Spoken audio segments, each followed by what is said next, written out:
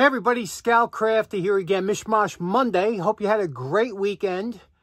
Uh, we had a bad rainstorm. Well, actually, the rain, I'm filming this, starting this on Friday, so that we got a bad rainstorm coming tomorrow. You know, uh, one inch is a lot of rain. Two inches is a tremendous amount of rain. Three inches is when everything's flooding. And four inches is forget about it. And they're looking at four inch. So you know, I, I don't know how much rain I'm going to get down here in the basement and whatnot, so I got to put things on blocks. You know, it's it's one of them storms that come every so often. Just kills you. Um, so uh, I wanted to do something quick today because I don't know what I'll be, what kind of cleanup I'll be doing for the next couple days. Um, I saw something on Instagram, you know, one of those, or maybe it was YouTube, one of those shorts, some guy, and it had to be overseas had made a, uh, a tool out of a spade bit. And I said, what a great idea. And I said, I'm going to share that with you. So let's come along. Let's make a tool. We always like that, right? Let's knock one out. And I this looks like a really useful, fun tool. And I think a lot of you can make one of these and will enjoy making one of these. So let's get started right away. Okay, ever since I'm a kid, I've been a fan of the spade bits. Spade bits really come in handy. They do a good job, uh, especially if you respect them and know how to use them. And uh, they've never let me down. I really like these things. Um, this, I have a couple sets, different sets, different types. Uh, that's my favorite, the flat blade type. Now, if you have a bunch of spade bits old drill bits, eventually you'll come across one that might have been used for something like, you know, or hit a nail or something and messed up the, the edge. Now, these can be resharpened, and I showed that on a different, uh, a different segment. But this guy, whoever did this video, what he did was he uh, cut the top off an old spade bit like this and made it into a scraper. So I went upstairs into my box of handles I have a whole a couple boxes of acetate handles because I'm such a big fan. And um, I came up with this one here I thought would be a good one to use for a simple, couple of different reasons. Uh, we could put a striking cap back here in the back because it's got that secondary hole. Um, also, uh, this is pre-drilled down about this far. Now, I don't want to go down that far. I only want to go down to here, to about there, because you don't need, you're going to be pushing, you don't really need, but I'll have to have a piece of filler material fill up that bottom part of the cavity, because this is going to press down. So I'll maybe turn a piece of aluminum or something, put that in there that this can rest on. Then we'll heat this up and set it in. There's not, there's no pulling action. It's going to be a scraper, so you don't have to worry about them coming out really. Um, so let's get started. What we're going to do is we're going to cut this across here with a cutoff wheel. We're going to sharpen it. We're going to clean this up and make these into a scraper. And you know, we all have bad ones of these or something. That's why I never throw anything out that, especially when it comes to a tool, something you never know what part of this you can use. So let's get started. Now, if you don't have a, a handle available, you can use an old file handle. You can use a pre-made file handle. You can buy them online, inexpensive. These were given to me by my good buddy Hook from Hooks Outdoors. Uh, you can get something like this. It already comes slightly pre-drilled. You can fill it with epoxy.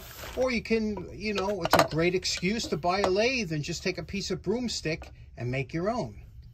Now we're switching over from the flap disc to the cutoff disc. I'm a big fan of cutoff discs, especially the thin ones. This is 132nd thickness. That's what it is up there. It says four and a half inches. That's the diameter.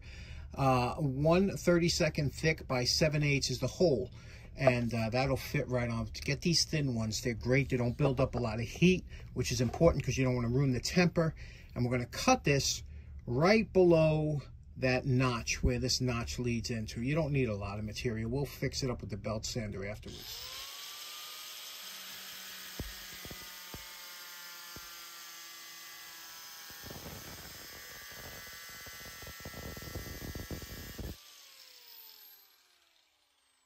Okay, here we go. We'll straighten that up again with the uh, the sanders. What we're going to do is we're going to make this flat across the top. Again, it's cool to the touch because uh, that thin wheel doesn't generate a lot of heat. A lot of sparks, but not a lot of heat. We're going to flatten this across the top.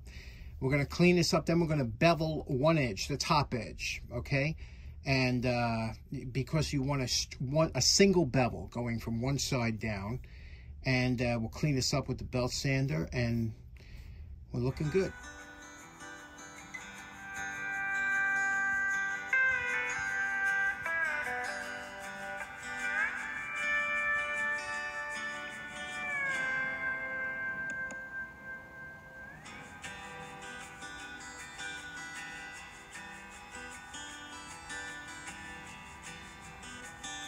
Now here we go. We just cleaned up the uh, the spade bit and we, we have it initially flat. We flattened it across the top. We have it level.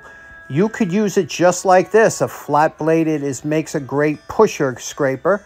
But I'm going to put a small bevel on here. You can see just as initial bevel, uh, we did it quickly on the 4x6 belt sander, making sure to dip it to keep the temper. And we can uh, adjust it from here and polish it up.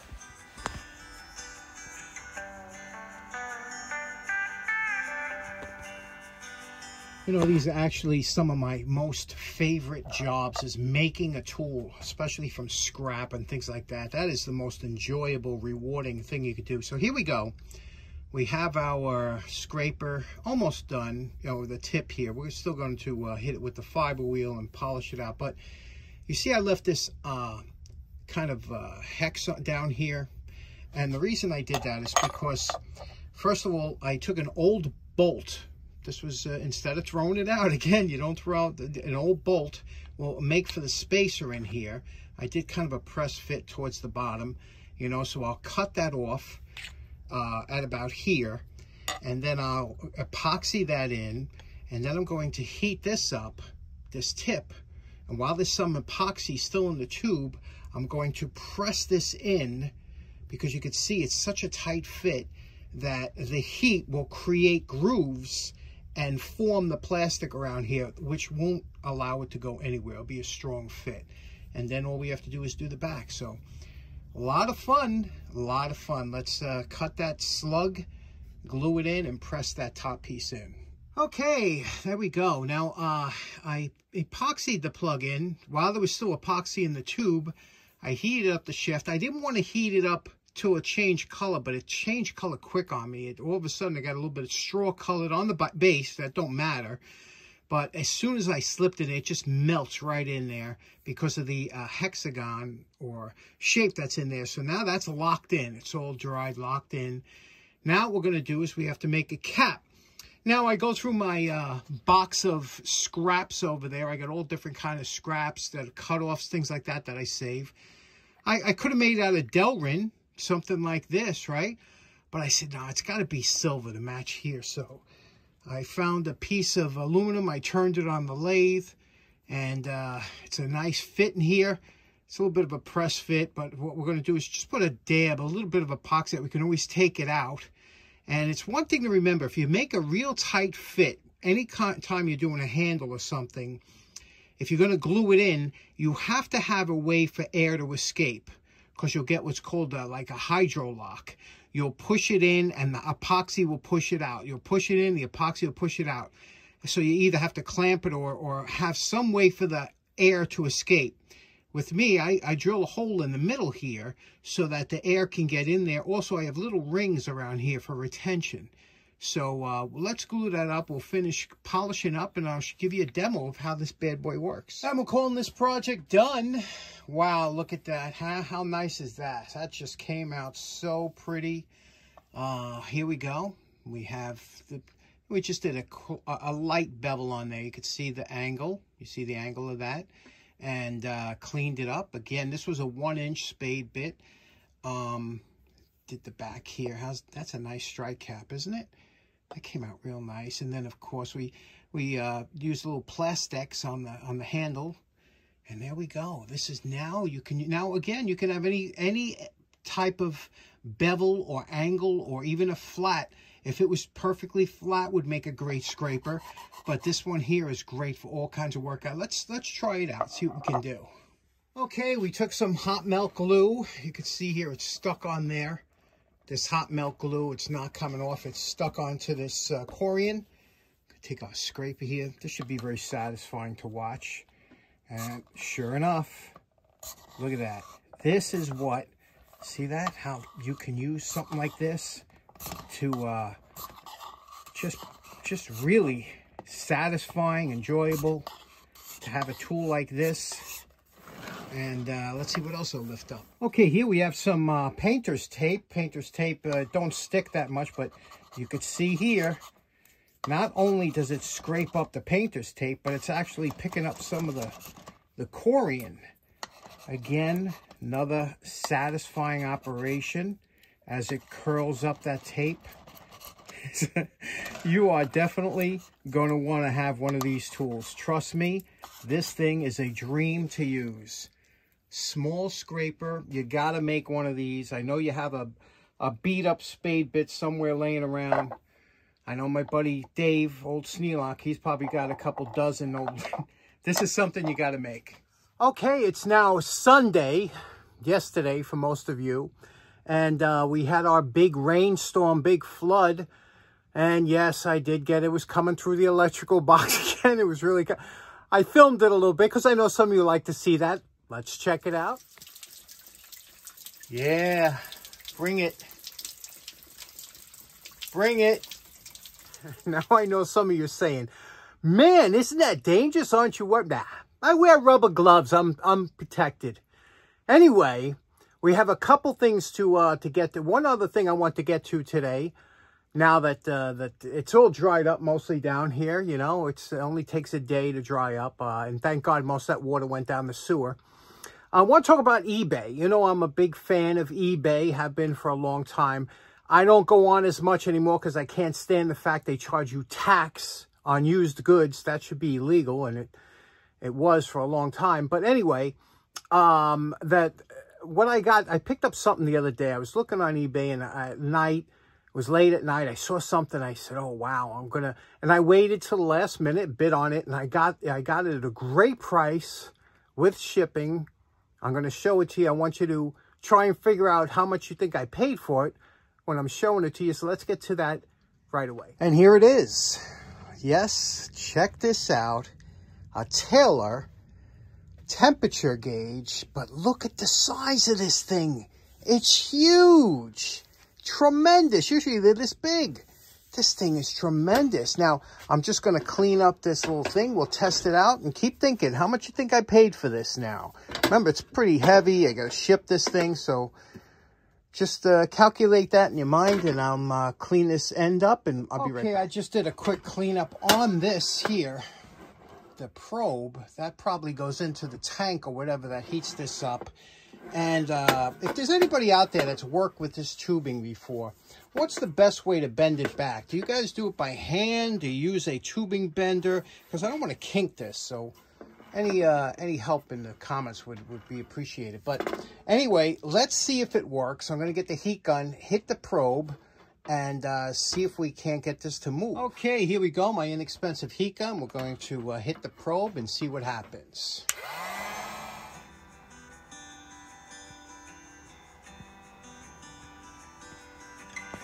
Okay, it works. How cool is that?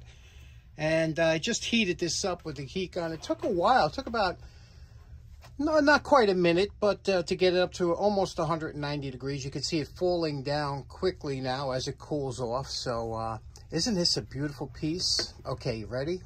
You're not going to believe what I paid for this. Okay, the price I paid for this was $4.25 now, I know what you're thinking. You're thinking, oh, they hammered you for shipping. I paid $6.82 shipping. So for about $11, what a beautiful, absolutely beautiful, huge. This thing is tremendous. I don't know if it, it, it, comes across how big this thing is, but I thought this would be something cool to hang up. I just maybe stick this into my, uh, my oil burner or something and have, it's just beautiful, isn't it? Okay, so in closing, that's a funny thing about um, eBay, how that works sometimes. You know, when you, I got a good deal and I was like, wow, that was a great, when I got it. And then I went back to that seller just to see if he had any other items like that that were kind of priced low or whatever, you know. But you know what's funny? this seller sells mostly all sneakers, new and used sneakers. That's a big thing now, you know, high price sneakers and stuff. So he had dozens and dozens of listings on sneakers, no tools or anything like this. So how did that wind up in his, you know, whatever it was, it was good, good listing for me. So it was nice to, to pick that up. Um, in closing, I hope you do make that scraper. Wasn't that such a great thing? Hope you make one. So much fun, so easy to do. I think you have a great time. And uh, thanks for tuning in. We'll see you again on Wednesday. Take care now. Bye-bye.